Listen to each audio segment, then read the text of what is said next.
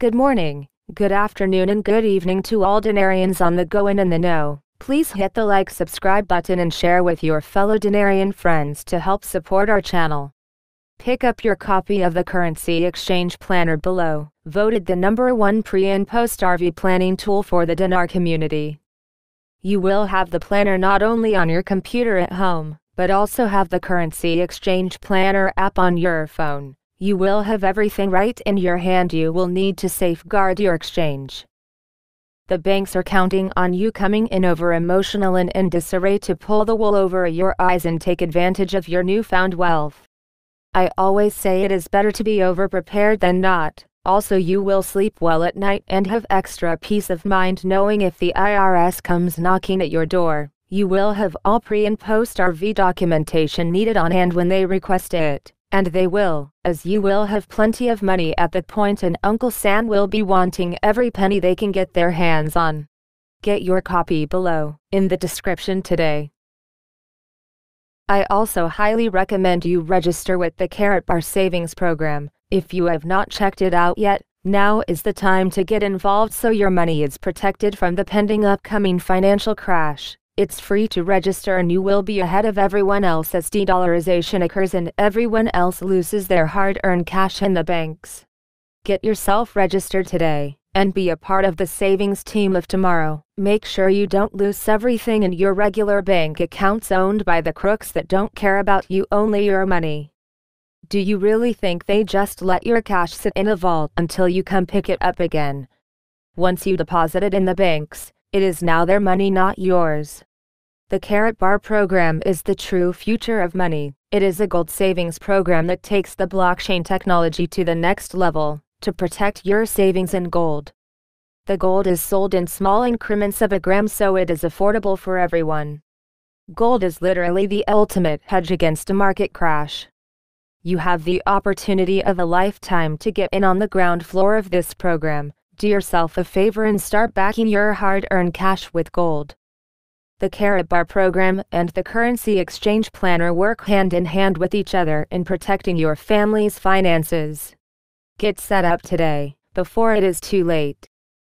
The link to the Karatbar Savings Program and the Currency Exchange Planner are in the description drop down below. I encourage you, knowledge is power. Stay informed and stay alert. Get involved in both of these programs today. First article of interest for today representative asked to give the government three powers, including sending the budget and appointments. The Parliamentary Labour Committee revealed, on Saturday, that it submitted a parliamentary request to give the government three powers, including sending the budget and appointments. Committee member Fadil Al-Fatlawi said in an interview reported by Mawazeh News that the request submitted to the presidency of the House of Representatives includes granting powers to the caretaker government to send a draft budget law and vote on the agreement with China and activate the Federal Service Council. He added, it will also work to activate the Federal Service Council to start granting jobs in the country according to merit. Next article of interest. Parliament votes on the First Amendment of the Federal Financial Administration Law. On Saturday, the House of Representatives voted on the law for the First Amendment of the Federal Financial Administration Law. The correspondent of the information said that the House of Representatives voted on the law of the First Amendment to the Federal Financial Administration Law No. 6 of 2019. The House of Representatives held its current session headed by Deputy Speaker Hassan Al-Kabi, and attended by 185 deputies. Next article of interest. Researcher reveals the value of external and internal debt to Iraq. The president of the independent research group, Munketh Dagher, revealed today, Saturday, the value of external and internal debts on the liability of Iraq, indicating that the total Iraqi debt amounts to $63 billion. Dagher said in a post seen by Yes in Iraq that various numbers are circulated in the media and among specialists about the actual debts of Iraq, and to find out the truth, the independent group used Iraqi official sources to identify these debts. And that the total Iraqi debt is around $63 billion, about 28% of the gross domestic product, distributed as follows $38 billion of internal debt, $25 billion in external debt, including 10 billion for Paris Club creditors. 6.4 billion are divided between the World Bank and the International Monetary Fund. 3.1 billion Kuwait compensation. 2.7 billion for America. And others. He added, there are $41 billion from the days of the previous regime, which are political loans granted to the previous regime from various countries, the most important of which is the Gulf Iraq has stopped paying it because it was granted outside Security Council resolutions, and whoever wants from creditors to claim it must go to the Paris Club. Most of these can be extinguished politically. Next article of interest. Iraqi PM quietly working to keep U.S. troops in country. Iraq's caretaker prime minister privately does not want U.S. troops to withdraw. Several American and Iraqi sources familiar with the situation told Al Monitor. Iraqi Prime Minister Adel Abdul Mahdi attends the funeral of the Iranian Major General Qasem Soleimani, head of the elite Quds force of the Revolutionary Guard, and the Iraqi militia commander Abu Mahdi al-Muhandis, who were killed in an airstrike at Baghdad airport, in Baghdad, Iraq, January 4, 2020. Iraq's caretaker prime minister privately does not want U.S. troops to withdraw. Several sources familiar with the situation told Al Monitor, though Adel Abdul Mahdi publicly backed a recent parliamentary vote that urged the Donald Trump administration to exit the war-torn country. Next article of interest. Deputy the vote on amending the financial management law will address the problem of the delay in approving the budget.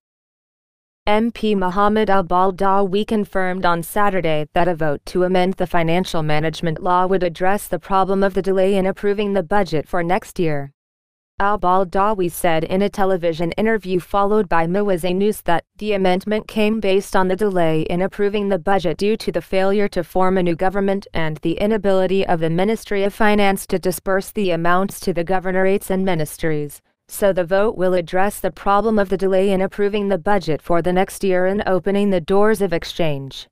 He added, according to the law, ongoing projects will continue to be funded, the contractor's dues will be paid according to the doors of the 2019 budget, and funds will be rotated between ministries and governorates to complete the completion of some projects. He pointed out, some governorates did not spend 25% of their allocations, and therefore it was necessary to vote on amending the financial management law. Next article of interest the U.S. warned Iraq that its access to a key bank account holding billions is in jeopardy if the country expels American troops. The United States government is flexing its muscles to Iraq over the country's threats to oust some 5,300 U.S. troops from the country.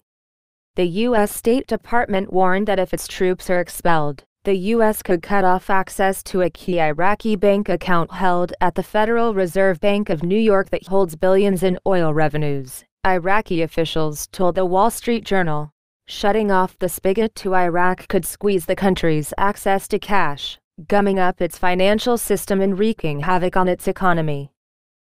The warning to Iraq is the latest in the fallout from the U.S. missile strike on Iraqi soil last week that killed a top Iranian general the United States government is flexing its muscles to Iraq, warning there could be stiff financial consequences if the country follows through on efforts to expel U.S. military forces in response to the U.S. missile strike on Iraqi soil last week that killed a top Iranian general.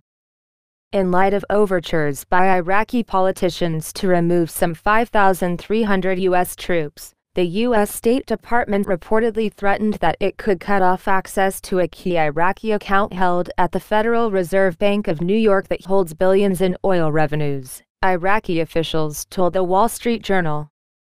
The New York Fed provides banking services to roughly 250 central banks and other government institutions, according to WSJ.